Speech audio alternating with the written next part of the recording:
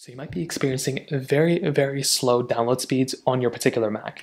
Now, this can happen for literally an unlimited amount of reasons, but the very first thing I'd recommend doing is actually making sure that your Wi-Fi connection is properly set up and you don't have any issues with your Wi-Fi. Pretty much for every single person, if you're in this type of situation, you can run into so many problems literally just within your particular phone or your particular Wi-Fi.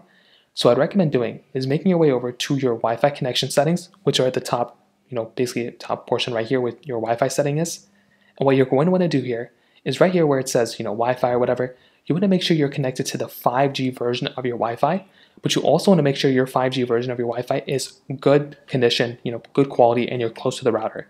If you're very far from your router, if you're not using Ethernet, things like that can slow your specific, you know, Wi-Fi connection down. So just make sure you're connected to a good internet connection, make sure everything's good there, and probably for a lot of people, that's probably all the issues you're going to run into. Now, let's say you do that and that's not working. Another thing I'd recommend doing is going through and just double checking your specific, you know, what version of your, and double checking your, you know, the version of software that you're basically on.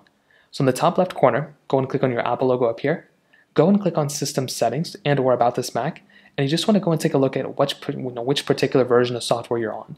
If you're on a very outdated version of Mac OS, you might be in a better situation if you just update your specific software. So what I'd recommend doing here is just going through, clicking on your specific Apple logo up here, going into system settings, and then pretty much clicking on general, clicking on software update, and pretty much just updating your phone. Like I said, when it's checking for updates and you actually go and install it, for a lot of people, all you're pretty much gonna have to do is just update your particular Mac, and that might end up fixing the problem too, and that might be all you have to do in these particular situations. That still doesn't work. You can try going through and actually restarting your Mac. You can try connecting to a better Wi Fi connection. If none of those things are working, I would guarantee you that you might have a little bit of a small issue on your Mac, and you can try actually going through and actually updating your Mac again, or seeing if you can wait until you know something fixes it in and of itself. That might be another thing you can try doing as well. So that pretty much covers it up. If you have any other thoughts or questions, let me know in the comment section below.